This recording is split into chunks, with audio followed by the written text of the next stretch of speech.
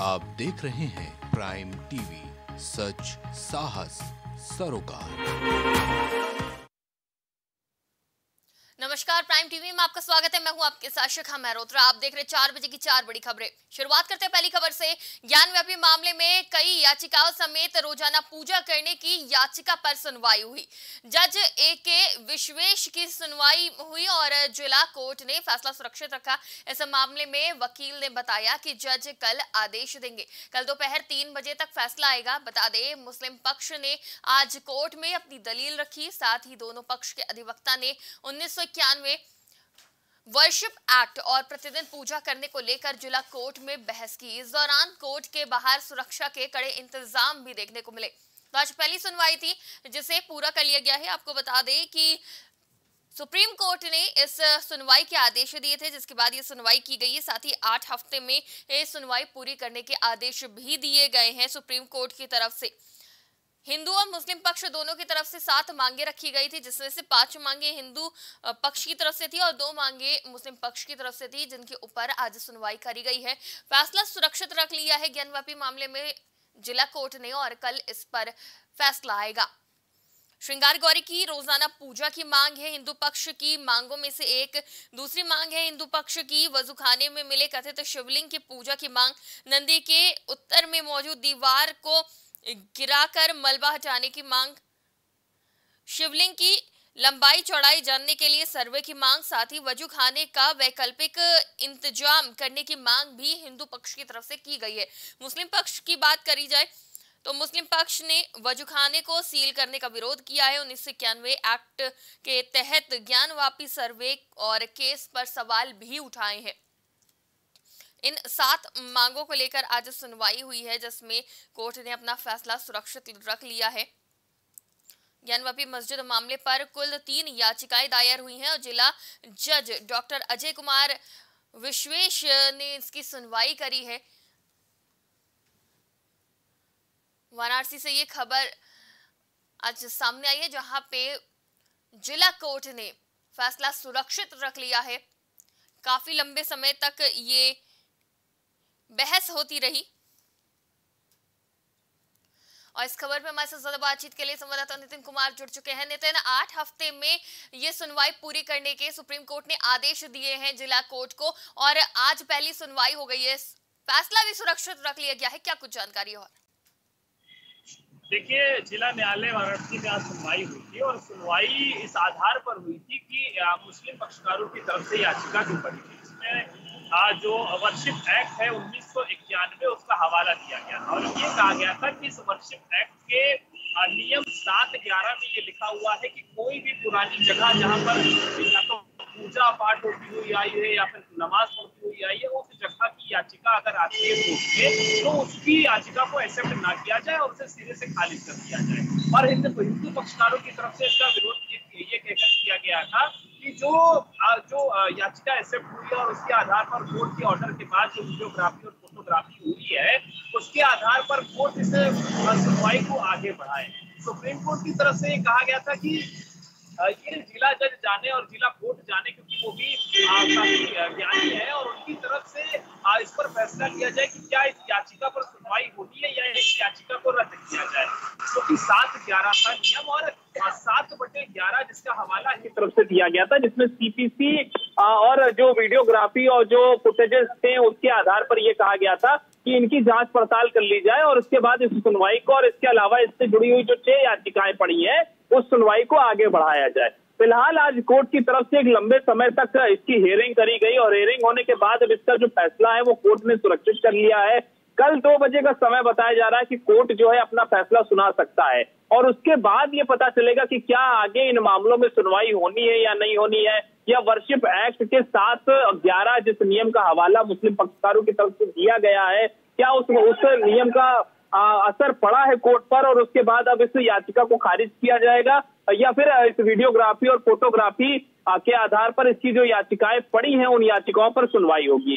दूसरी अहम चीज़ ये भी है कि कोर्ट में जो दोनों ही पक्षकारों के वकील थे, उनकी तरफ़ से भी इस बात का ज़िक्र किया गया कि वीडियोग्राफी और फोटोग्राफी हमें भी मुहैया कराई जाए ताकि हम भी अपनी दलीलों को पुख्ता कर सके, दलीलों को संग्रह कर सके और इसके अलावा जो वीडियोग्राफ और फोटोग्राफ कोर्ट में जमा हुए हैं, उन पर चर्चा और विचार विमर्श किया जा सके। तो ये भी आज इस पर भी चर्चा हुई है। फ़िलहाल अब कोर्ट कल इस पर अपना फैसला देगी और उसके बाद पता चलेगा कि इस याचिका और आगे, इसके अलावा जो बाकी की याचिकाएँ हैं, उन याचिकाओं पर सुनवाई होनी है या नहीं।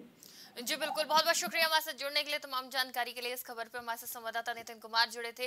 तो कल दो बजे फैसला आएगा। आज कोर्ट ने फैसला सुरक्षित रख लिया है। सुप्रीम कोर्ट के आदेश के बाद सुनवाई करने की इजाज़त मिली जिला कोर्ट को और आठ हफ़्ते के अंदर इस पर सुनवाई करने की और आदेश देने की बात कही है सुप्रीम कोर्ट ने। यूपी की 18वीं विधानसभा का पहला सत्र आज से शुरू हो गया है और राज्यपाल का अभिभाषण शुरू होने के साथ ही समाजवादी पार्टी के विधायकों ने महँगाई, बेरोजगारी जैसे कई मुद्दों पर राज्य सरकार के खिलाफ जमकर हंगामा किया, जबकि राज्यपाल का विधानसभा में भाषण करीब एक घंटे तक चला और इस दौरान अभिभाषण के बाद विधानसभा में राष्ट्रगान भी गाया गया। बता दें कि सपा विधायकों के हंगामे के बाद यूपी विधानसभा कल 11 बजे तक के लिए स्थगित कर दी गई है और साथ ही 26 मई को विधानसभा का, यूपी विधानसभा का बजट पेश किया जाएगा। इस अवसर पर मैं नई सरकार के गठन और नवनिर्वाचित सदस्य को बधाई भी देती हूँ कोरोना कालखंड की चुनौतीपूर्ण परिस्थितियों में प्रदेश में विधानसभा सामान्य निर्वाचन 2022 संपन्न हुआ इसके लिए पचहत्तर जनपदों के कुल चार सौ तीन विधानसभा निर्वाचन क्षेत्रों में एक लाख चौहत्तर हज़ार आठ सौ तीन मतदान बूथ स्थापित किए गए थे मैं विधानसभा निर्वाचन को शांतिपूर्वक तथा सकुशल संपन्न कराने के लिए प्रदेश की जनता भारत निर्वाचन आयोग एवं निर्वाचन प्रक्रिया से जुड़े हुए सभी अधिकारियों को कर्मचारियों को केंद्रीय पुलिस बल राज्य पुलिस बल व अन्य समस्त अभिनंदन को हृदय से अभिनंदन करती हूँ माननीय और इस खबर पर हमारे साथ ज़्यादा बातचीत के लिए संवाददाता गौरव श्रीवास्तव जुड़ चुके हैं। गौरव जिस तरह से आज पहला दिन यानी कि विधानसभा के सत्र की कार्रवाई का पहला दिन हंगामे की भेंट चढ़ गया तो क्या बाकी दिन भी ऐसा ही देखने को मिलेगा क्या जनता के मुद्दे उठ पाएँगे सदन में? जनता के मुद्दे उठे ना उठे फ़िलहाल जो हंगामा होता है वो हमेशा से उठता है। विधानसभा का जो अठारहवा विधानसभा उसका सत्र शुरू हुआ और सत्र के चलते ही जैसा कि उम्मीद लगाई जा रही थी इस बार हंगामा होगा। इसकी समाज पार्टी समेत तमाम विपक्ष के लोग कह रहे थे कि इस बार हम जो विपक्ष सत्र की कार्रवाई होगी उसमें कुछ ना कुछ ऐसी बात ज़रूर करेंगे कि हम सरकार को गिनने का प्रयास जहाँ तक किया जाएगा, और वैसा हुआ अभी पोस्टर भी लगाए गए, बैनर भी लगाए गए, और राज्यपाल के सभा घंटे के अभिभाषण के दौरान लगातार गवर्नर गो बैक के नारे भी लगाए गए। तो यहाँ पर सत्र बाधित भी रहा, और साथ ही साथ यहाँ पर भाषण के दौरान भी ये कहा गया कि सरकार कानून, व्यवस्था, बेरोजगारी और पेंशन बहाली ऐसे तमाम मुद्दों पर पीछे हो रही है, और जनता की सुन नहीं रही है। इसके चलते यहाँ पर तमाम तरह की जो अभिभाषण के दौरान इस तरह विवाद रहे और तमाम नेता उस समय उनके भाषण के दौरान governor go back governor go back के नारे लगाते चले आए।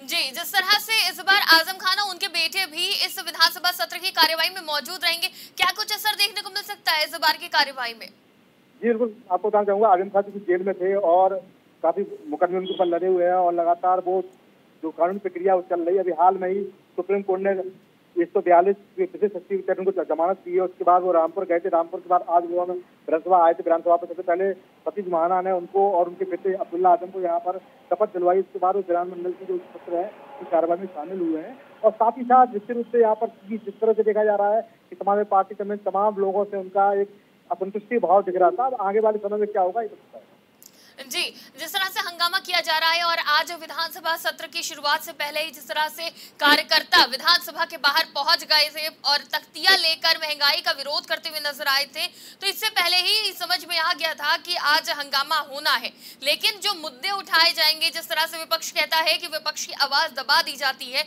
अब जब सदन में बोलने का मौका मिल रहा है तो क्या हंगामे और नारेबाजी करके ये वक्त गवा दिया जाएगा? इस बार भी हर बार की तरह जो सदन की कार्यवाही बुलाई गई है उसका वक्त इस बार भी खराब किया जाएगा क्या? उत्तर प्रदेश की विधानसभा में जो जो हो रहा है वो आम नहीं है। हमेशा सत्य की शुरुआत हमेशा हंगामेदारी होती है और कार्यकर्ता से लेके विधायक से लेके तमाम लोग कभी सिलेंडर लेके कभी काली तख्तियाँ लेके कभी काले गुब्बारे लेके सरकार का विरोध प्रदर्शन करते हैं। और विपक्ष के नाते ऐसा करना भी चाहिए। पर विधानसभा सत्र के दौरान अपनी बात रखना जनता के मुद्दे रखना और जनता के मुद्दे पर सरकार को गिनना ये भी परम आवश्यक है। केवल गवर्नर गो बैक के नारे लगाकर अपना विरोध प्रदर्शन करना पर्याप्त नहीं है। यहाँ पर अगर आपको जनता के लिए लड़ना है तो आपको सत्य में शांतिपूर्ण माहौल के साथ अपनी बात रखनी पड़ेगी और साथ ही साथ आपको धरातल पर ही प्रदर्शन करना होगा। जब तक धरातल में उतरेंगे जब तक जनता की बात को सरकार तक नहीं पहुँचा पाएँगे। जी गौरव 26 तारीख को विधानसभा में बजट सत्र भी है और बजट भी पेश किया जाएगा। तो इस बजट में किन किन चीज़ों का ध्यान रख सकती है यूपी सरकार? देखो तब तक सरकार फ़िलहाल तो साढ़े छह लाख करोड़ का बजट का अनुमान है इस बार पेश किया जाएगा। और इसके अलावा किसान से लेके, शिक्षा से लेके एमएसएमई सेक्टर को तमाम तरह से बेहतर बनाने हेतु, क्योंकि माना जा रहा है अभी तीन जून को ग्राउंड ब्रेकिंग सेरेमनी भी होनी है, बड़ी इन्वेस्टर समिट होनी देश के बड़े बड़े उद्योगपति भी आने हैं। तो निश्चित रूप से यहाँ पर जो बजट रहेगा एमएससी पे निर्धारित रहेगा साथ ही शिक्षा शिक्षा पे भी निर्धारित रहेगा, कानून व्यवस्था पे भी रहेगा। तो तमाम यहाँ पर बड़े फैसले बजट के दौरान लिए जाएँगे। और साथ ही साथ जिस तरह से महँगाई बढ़ रही है उसको रोकने का प्रयास भी इस बजट के माध्यम से है किस तरह हम आम जनता को राहत पहुँचा सकते हैं। जी गौरव पेट्रोल डीजल के दाम में केंद्र सरकार द्वारा कुछ कमी की गई है लेकिन अभी राज्य सरकार ने नहीं किया तो क्या लगता है बजट सत्र के दौरान कोई बड़ा फैसला ले सकती है राज्य सरकार? बिल्कुल हो सकता है। अभी उत्पाद शुल्क केंद्र सरकार ने घटाया इसके चलते पेट्रोल में नौ रुपए और डीजल में सात रुपए की यहाँ पर कमी की गई है। हालाँकि सीएनजी के दाम लगातार बढ़ रहे हैं। और बिजली के दाम भी लगातार बढ़ना भी एक चिंता का कारण है। और आने वाले समय में उत्तर प्रदेश सरकार क्या फैसला लेती है जनता को क्या राहत देती क्योंकि एक सौ छह रुपए लीटर पेट्रोल चल रहा था उसके बाद उसे नौ रुपए घटाया गया तो निश्चित रूप से यहाँ पर कुछ राहत तो मिली है। पर इस राहत से काम निकले क्योंकि लगातार हम देख रहे हैं कि खुदरा महँगाई दर है। जो पिछले अगर मैं आप तीन महीने की बात करूँ तो सात दशमलव नौ की ऊपर पहुँच चुकी है और यहाँ पर सरकार का यही चिंता का कारण है। तो खुदराई मैदा दर को नियंत्रित करके और रेपो रेट में तमाम बदलाव करके और पेट्रोल, डीजल की तमाम कीमतों पर अगर रोक लगा सकते हैं तो जिसमें से आने वाले समय में जनता के लिए कुछ फ़ायदेमंद साबित हो सकता है। जी, बिल्कुल। बहुत बहुत शुक्रिया हमारे साथ जुड़ने के लिए, तमाम जानकारी के लिए। इस खबर पर हमारे साथ संवाददाता गौरव श्रीवास्तव जुड़े थे। तो महँगाई और बेरोजगारी जैसे कई अहम मुद्दे उठाने की बात करता है विपक्ष। अब देखना यह होगा कि विधानसभा सत्र की कार्यवाही को विपक्ष भुना पाता है या फिर ये कार्यवाही भी, ये सत्र भी हंगामे की भेंट चढ़ता है।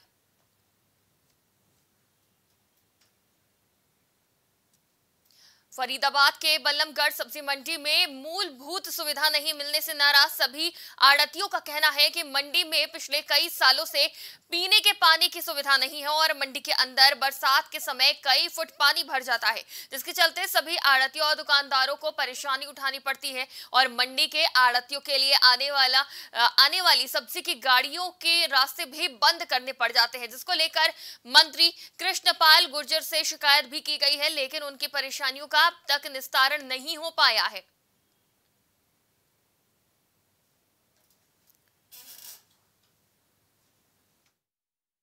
तो मंडी में जो मीटिंग की गई है, वो इसको लेके की गई है कि जो हमारा जो मेन कट है जीटी रोड का, जिससे हमारी एंट्री होती थी गाड़ियों की, यहाँ मंडी के अंदर लाखों आदमियों का आवागमन है। जो सरकार की तरफ़ से बंद कर दी गई है, जिसके लिए हमने कृष्णपाल गुर्जर, अपने केंद्रीय मंत्री हैं, उनसे भी हमने गुहार लगाई थी। वो मौके पर आए भी थे यहाँ पर उन्होंने देखा भी है मौका। उन्होंने एक्शन को बुला के यही बोला फ़िलहाल इनका कट खोला जाए और जो आगे की प्रक्रिया, वो तुम जैसे भी तुम करोगे, मैं उस पर साइन करके वो पुलिस का काम जब चलेगा, चलता रहेगा। फ़िलहाल इनको एक कट दो यहाँ से। कृष्णपाल, हमारे केंद्रीय मंत्री जी आए थे, कृष्णपाल जी, वो भी कह गए कि- भाई, कट खुल जाएगा, अभी तक तो खुला नहीं है जी आश्वासन ये दिया जी अब कर रहे हैं हम, कार्रवाई, खुलवा देंगे आपका कट। बरसात के मौसम में तो मंडी सुहानन लाए जी यहाँ तो पानी भर जाता है घुटने घुटने। दुकानों के अंदर तक पानी घुस जाता है। हमारी तो मूल एक तो समस्या ये है कि यहाँ पर कट है जिससे, यानी बहुत फ़र्क पड़ रहा है, व्यापारी लोग नहीं आ रहे हैं और हमारा माल छः किलोमीटर आगे से जाना आना होता है सो बहुत दिक्कत है। और ये है कि हमारे रिक्शे वाले जो जाते हैं माल लेकर, उनको यानी पुलिस वाले तंग करते हैं आउटसाइड चलते हैं वो। रॉन्ग साइड तो उससे यानी उसमें यानी बहुत दिक्कत होती है। रोज यानी सौ सौ पचास पचास रुपए उनसे लेते हैं। तो व्यापार पे बहुत असर पड़ रहा है और इस खबर पर हमारे साथ फरीदाबाद से संवाददाता मनोज जुड़ चुके हैं। मनोज, जिस तरह से आड़तियों की परेशानियाँ सामने आ रही हैं और उन्होंने बताया कि बारिश के मौसम में पानी भर जाता है। एक बार फिर मानसून दस्तक देता नज़र आ रहा है और काफ़ी परेशानियों का सामना करना पड़ेगा। शिकायतों का निस्तारण नहीं किया जा रहा है। किन किन परेशानियों का सामना कर रहे हैं आड़तिये? शिखा जी, बता दें, फरीदाबाद में अगर बात की जाए तो बल्लमगढ़ की सब्ज़ी मंडी है, जहाँ पर आड़तियों और अन्य प्रधान मंडी के जिन्होंने शिकायतें सेक्रेटरी साहब को दी है, उसके बाद भी अगर मंडी की बात की जाए तो मंडी में जो सुविधा है, वो कहीं नज़र नहीं आ रही और मंडी में ना तो पीने का पानी है और ना बरसात से निकासी का कोई समाधान, जिसको लेकर उन्होंने शिकायतें आला अधिकारी तक लगा रखी है और बल्लमगढ़ के जो मंत्री हैं कैबिनेट मंत्री उनको भी लिखित रूप में शिकायत दे चुके हैं पर उनकी जो समस्या है उसका अभी तक कोई समाधान नहीं है। जी जी अगर बात करें इस समस्या की तो कितने समय से समस्या का सामना करना करना पड़ रहा है सभी व्यापारियों को? मंडी के सभी आरती में रोष है और उसको लेकर वह शिकायत भी दे चुके हैं और पिछले करीबन पाँच से छह साल हो चुके और वो इस समस्या से जूझ रहे हैं जिसके चलते ना तो वहाँ पीने का पानी की सुविधा है और ना जो बरसात के चलते जो पानी इकट्ठा होता है ना उसकी निकासी का कोई समाधान जी जहाँ तक कि सरकार हर घर तक जल पहुँचाने की बात कर रही है, जल से जुड़ी हुई कई ऐसी योजनाएँ हैं जिनको जनता तक पहुँचाने की बात कर रही है। वहीं अगर आड़तियों को इन समस्याओं का सामना करना पड़ रहा है तो इसके संबंध में क्या कोई शिकायत दी गई है सरकार तक? आरटीओ की तरफ़ से चंडीगढ़ तक शिकायत पहुंच- पहुंचाई जा चुकी है और उन, उनका साफ़ तौर पर कहना है कि जो उनकी जो मंडी के अंदर जो माल आता है वो कहीं ना कहीं बरसात के चलते खराब होता है और उसको लेकर वह शिकायतें भी दे चुके हैं पर उनकी जो समस्या का जो समाधान है वो अभी नहीं हुआ जिसको लेकर आरटीओ ने आई मीटिंग भी कर चुके हैं और उसको लेकर मंत्री से मिल चुके हैं और जबकि कैबिनेट मंत्री कृष्णपाल गुर्जर जी भी वहाँ पहुँचे थे उनको भी जो मंडी का कट बंद कर दिया है उससे भी कहीं ना कहीं वो नाराज़ है और इसी को लेकर वो आए दिन कोई ना कोई वो कर रहे हैं। जी। जी, बिल्कुल, बहुत बहुत शुक्रिया हमारे साथ जुड़ने के लिए, तमाम जानकारी के लिए। इस खबर पर हमारे साथ संवाददाता मनोज जुड़े थे फरीदाबाद से। रुक करते अगली खबर का अलीगढ़ के महुआ खेड़ा थाना इलाके के सागवान सिटी में कई परिवारों ने अपने घर के बाहर मकान बिकाऊ है के पोस्टर लगाते हुए बिल्डर पर उत्पीड़न का आरोप लगाया है। वहीं इस दौरान लोगों ने कहा कि बिल्डर कॉलोनी में बने पार्कों में दलितों के किसी भी कार्यक्रम का आयोजन नहीं होने देते हैं, जिससे लोग पलायन करने को मजबूर है, जबकि पुलिस से इसकी शिकायत करने को मजबूर लोग। पुलिस बिल्डर के खिलाफ कोई कार्रवाई नहीं कर रही इस बात का भी आरोप लगाया है। उल्टा बिल्डर का ही साथ देते हुए नज़र आ रही है पुलिस। इस बात को कहते हुए भी लोग नज़र आए हैं। तस्वीरों में देख सकते हैं आप, अपने मकान को बिकाऊ पोस्टर लेके खड़े हुए हैं कि ये मकान बिकाऊ है। पलायन करने को लोग मजबूर नज़र आ रहे हैं। अजय जी, ये बताइए, क्या मामला है कि सागवान सिटी में लोगों ने अपने मकान के बाहर जो है, मकान बिकाऊ के पोस्टर लगा रखे हैं? तकरीबन 80 से 85 मकानों के बाहर पोस्टर लगे हैं। क्या मामला है पूरा? देखिए, अलीगढ़ में, उत्तर प्रदेश में ये बहुत ही बड़ी विडम्बना है कि दलितों के 80 पिचासी मकानों पर मकान बिकाऊ है के बोर्ड लगे हैं। यहाँ के जो लोग हैं, वो इनके साथ भेदभाव करते हुए बाबा साहब की जन्म के अवसर पर उनको भंडारा नहीं करने दे रहे। इनको जात सूदक शब्दों से इस्तेमाल करते हैं और अपने अपमान को सहते हुए यहाँ के लोगों ने पलायन करने की ओर लिख दिया कि हम लोग यहाँ से मकान बेच के पलायन करना चाहते हैं, धर्म परिवर्तन करना चाहते हैं। इन लोगों ने जिलाधिकारी को, कप्तान को, मुख्यमंत्री को सब जगह लेटर भेजे हुए, लेकिन कोई सुनने वाला आज इनकी है नहीं। इसलिए हमें ये पता लगा, हम लोग इनके इसलिए यहाँ पर पहुँचे कि इनको न्याय मिलना चाहिए। इनकी बात प्रशासन को शासन को सुननी चाहिए। जो इनका अपमान यहाँ पर हो रहा है वो नहीं होना चाहिए। थाना महुआ खेड़ा स्थित एक कॉलोनी के अ, में निवासी एक वर्ग विशेष के व्यक्तियों द्वारा वहाँ का कॉलोनी के प्रबंधन पे आरोप लगाया गया कि अंबेडकर जयंती के उपलक्ष्य में उनके द्वारा कॉलोनी में एक प्रोग्राम का आयोजन किया जाना था जिसके संबंध में अ, उनको अ, जो प्रबंधन की तरफ़ से कोई स्थान निर्धारित नहीं किया गया जिसको लेके उस समय पे विवाद उत्पन्न हुआ था। उसी विवाद को लेके कल इनके द्वारा विरोध किया गया और अपने मकानों पर कुछ बोर्ड लगाए गए। इस सूचना पर अ, मौके पर पुलिस और प्रशासन की टीम पहुँची है और अ, दोनों पक्षों से वार्ता कर कर अ, समस्या जानकारी की जा रही है तथा उसका निराकरण का प्रयास किया जा रहा है। तो अलीगढ़ से ये खबर सामने आ रही है जहाँ लोग पलायन करने को मजबूर है पूरे परिवार के साथ। और बात कहा ज- कही जा रही है कि प्रताड़ित किया जा रहा है कुछ लोगों के द्वारा। और इस खबर पे हमारे संवाददाता नितेश माहेश्वरी जुड़ चुके हैं अलीगढ़ से संवाददाता। नितेश पूरी जानकारी चाहेंगे कि किस चीज़ को लेकर विवाद शुरू हुआ और क्या कुछ परेशानियों का सामना करना पड़ रहा है स्थानीय लोगों को? शिखा मैं आपको बता दूँ ये पूरा मामला महुआ खेड़ा थाने का है। इसमें एक पॉस कॉलोनी है जिसका नाम है सागवान सिटी जिसमें 500 परिवार से अधिक लोग हैं। और ये एक इतनी बड़ी कॉलोनी में हर जाति के लोग रहते हैं। मामला पूरा यह है कि इसमें चौदह अप्रैल को भीमराव अंबेडकर जयंती जो मनाई जाती है उसके उपलक्ष्य में कुछ लोगों ने अपना कार्यक्रम रखा और पार्क, पार्क में टेंट लगा दिया। सागवान सिटी के मालिक नरेंद्र पा, पासवान नरेंद्र पासवान उन्होंने मना किया कि इस इस प्रोग्राम को आप यहाँ पर ना करें इस प्रोग्राम को आप हमारा स्कूल है पासवान स्कूल के नाम से है वहाँ पर आप इस प्रोग्राम को करें। ये एक वजह रही इस रीजन को लेकर वो उनका प्रोग्राम नहीं हो पाया। जी तो ये प्रोग्राम ना होने के बाद रोष भी देखने को मिला लोगों में तो इसके बाद किस तरह से विवाद बढ़ता हुआ नज़र आ रहा है? देखा मैं आपको बता दूँ ये दलित परिवार के द्वारा रोष देखने को नज़र आ रहा है क्योंकि तो 14 अप्रैल को ना प्रोग्राम नहीं होने के कारण उनमें रोष देखने को नज़र आ रहा है और लगातार उनके प्रशासनिक शिकायत भी की, की गई थी जिस पर आज प्रशासन ने कार्रवाई करते हुए दोनों पक्षों को आमने सामने बैठाकर उन दोनों पक्षों से बात की गई बात की है और अभी स्थिति सामान्य है और दोनों पक्षों में बात चल रही है। विवाद को सुलझाने का कार्य किया जा रहा है।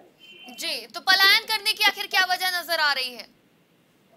पलायन की अगर बात करेंगे तो सिर्फ़ एक छोटी सी यही वजह है कि उनका चौदह अप्रैल को प्रोग्राम नहीं किया जाने दिया है। भीमा अंबेडकर जयंती नहीं बनाने दी जाएगी जी तो यानी कि कोई प्रताड़ित नहीं किया जा रहा है सिर्फ़ इस बात से नाराज़ होकर पलायन कर रहे हैं लोग। जी जी यही यही वजह है इस वजह से पलायन करने को मजबूर है लोग।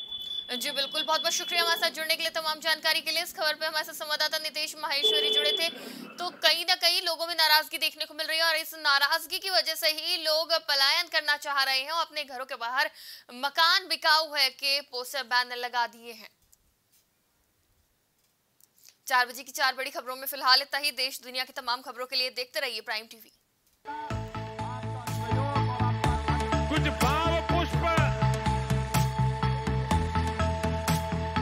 आप देख रहे हैं प्राइम टीवी सच साहस सरोकार।